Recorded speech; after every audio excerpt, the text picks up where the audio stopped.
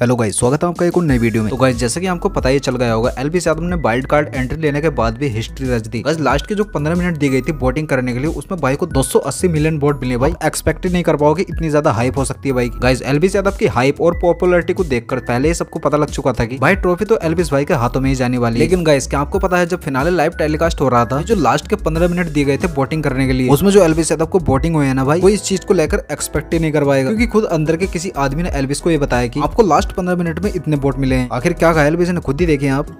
सारा सीन खत्म हुआ। मैं अंदर गया तो जो जियो की हेड है जिसका पूरा ये शो है जो चलाती है मालिक जो है उन्होंने बोला कि आपको पता है पंद्रह मिनट में कितने वोट्स आए आपको? मैं बोला कितने वोट्स आए? दो सौ अस्सी मिलियन दो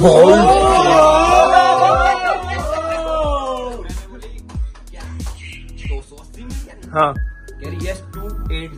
मिलियन पंद्रह मिनट में। ये पंद्रह मिनट के ही थे। हाँ। कितने कितने तू ब्लॉग में देखियो भाई।